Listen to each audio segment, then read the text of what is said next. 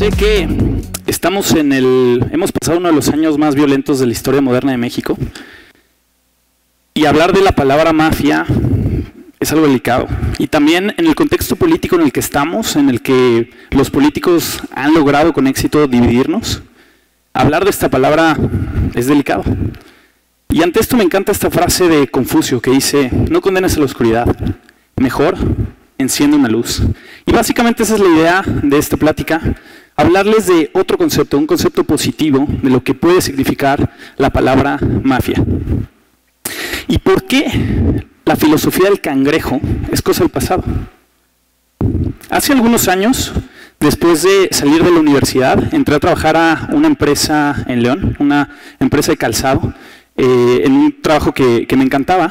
Y un par de amigos hicieron por ahí una empresa con negocios en Internet, les empezó a ir muy bien y me invitaron a trabajar con ellos.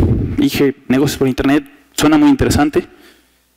dije, bueno, si voy a entrar esto, quiero entrar bien. Y el dinero que había ahorrado lo gasté en ir a esta región en el norte de, de California, que se conoce como Silicon Valley, donde en esa misma región encuentras empresas como Google, empresas como Twitter, empresas como YouTube y varias de estas empresas que están literalmente revolucionando el mundo.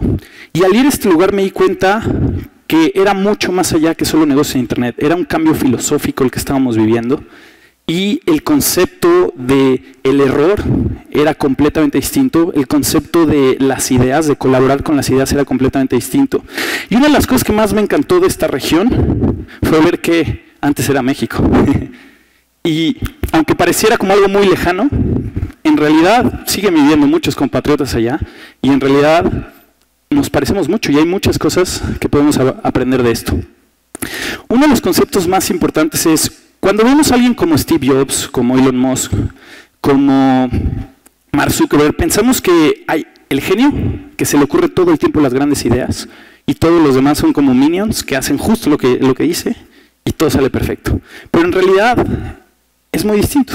Es un grupo de personas que se apoyan, que van alineados a la misma visión. Y creo que el mejor ejemplo de esto es la, PayPal Mafia. Justo es un término que los medios en esta región lo usan de una manera positiva. Y dicen, bueno, eran dos empresas que eran competencia, se empezaron a ayudar para transformar el sistema de pagos y crear esta empresa, PayPal. Y lo interesante de esto es que no solo venden la empresa en más de un billón de dólares, a eBay, sino que después de eso se empezaron a ayudar. Tres de ellos hicieron YouTube, uno de ellos fue el primer inversionista de Facebook, otro de ellos es nada más y nada menos que Elon Musk, otro es el fundador de LinkedIn y varias empresas más, y han logrado lo que Endeavor llama como el efecto multiplicador, donde entre ellos se apoyan generan un gran efecto, cambian al mundo y después con ese éxito, ese conocimiento, ese dinero, siguen haciendo más efecto, siguen invirtiendo, creando más empresas y apoyando y literalmente cambiando al mundo. Ahora, seguramente ustedes me van a decir, oye, pero esto es Estados Unidos, o sea, ¿qué tiene que ver con nosotros? Suena muy lejos. ¿Qué ejemplo podría haber de algo más cercano?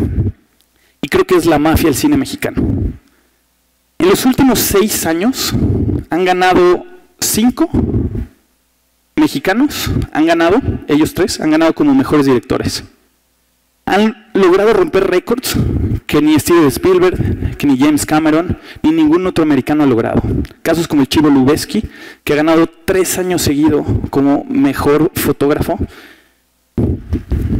¿Y por qué? Porque se han ayudado, han entendido el valor de ayudarse y también han entendido el valor de pensar diferente, el valor de complementarse y todo este tipo de cosas.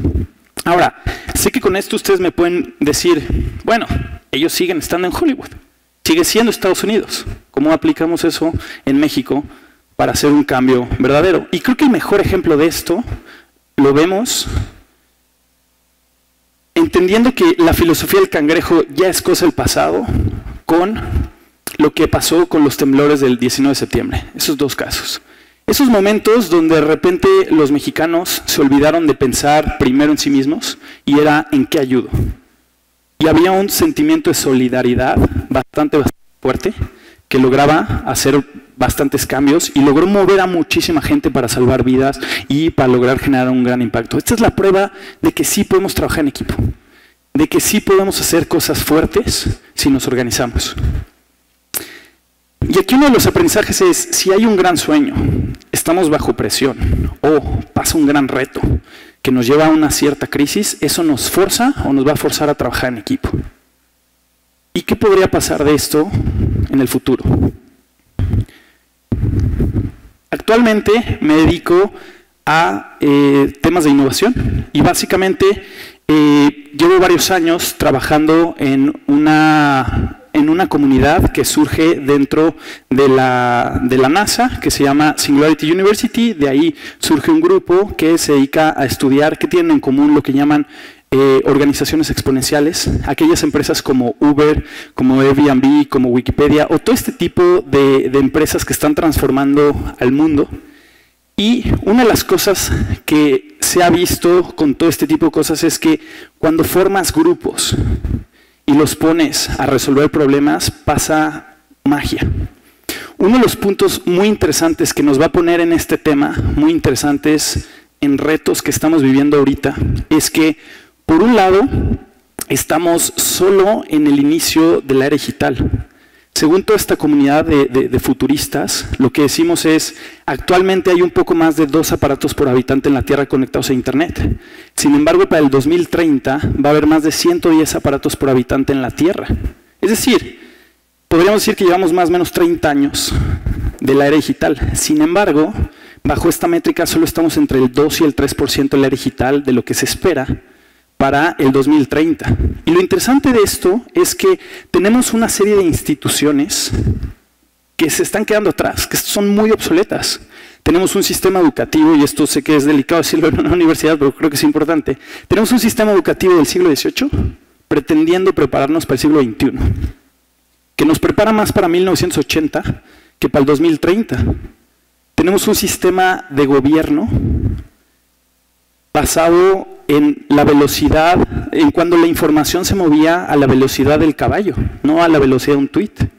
Y a nivel mundial, solo aproximadamente el 20% de la gente aprueba su gobierno. No importa si es un gobierno de izquierda, un gobierno de derecha. ¿Y esto por qué está pasando? Porque tenemos un sistema de gobierno de hace siglos pretendiendo solucionar problemas del siglo XXI es obsoleto.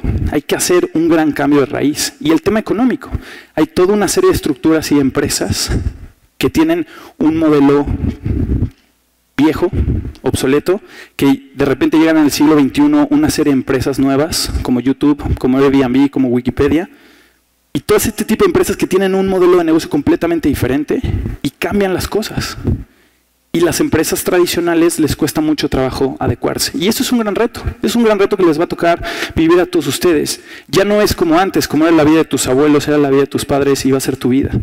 A ustedes y a todos nosotros nos va a tocar reinventarnos una y otra vez en las próximas décadas. Y esto de alguna forma es una cierta tensión, es una cierta crisis, pero también es una gran oportunidad. Y la forma de resolver esto es trabajar en equipo. Ahora más que nunca va a ser importante trabajar en equipo. Y uno de los puntos también muy importantes con esto es, nada de esto va a ser, va, a valer la pena si no logramos resolver algunos de los problemas a los que toda nuestra generación se está enfrentando, que es el calentamiento global. Tenemos 12 años para lograr bajar al menos el 50%, a más del 50% las emisiones de CO2. Si no cambiamos cómo vivimos, no va a servir de nada pensar en el trabajo, pensar en las empresas, pensar en el tema educativo, si no hay un planeta que sea habitable para nosotros como humanos. Tenemos solo 12 años para hacer un ajuste fuerte en cómo vivimos como, como humanidad. Y otro de los retos fuertes a los que nos estamos enfrentando es el tema de la sexta extinción de las especies. Se dice que diario por el estilo de vida que llevamos como humanos, estamos generando la extinción de al menos 200 especies diario. Esto es insostenible, no podemos seguir con un estilo de vida de esta forma. Pero la respuesta está en ser grupo, en ser equipo. Si nos organizamos, ahí es donde puede estar la solución. Y me gustaría con esto invitarlos a un sueño. Imaginen un mundo donde exista un juego social que mientras por un lado adquieres las habilidades para pensar y actuar de manera exponencial, es decir, para poderte sumar al siglo XXI, por otro lado estás ayudando a resolver algunos de los mayores problemas de la ONU, algunos de los mayores problemas del mundo. Cualquier persona que me esté escuchando con esto y que vibre con esto, lo invito a, si quiere colaborar con este proyecto, es algo que estamos convocando a una comunidad para llevar esto a cabo. Y sé que es, algo muy grande, es un sueño que puede sonar algo loco, pero me gustaría cerrar con esta frase de Margaret Mead que dice, nunca dudes que un pequeño grupo de ciudadanos considerados pueda cambiar al mundo. Verdaderamente eso es lo único que lo ha logrado. Muchas gracias.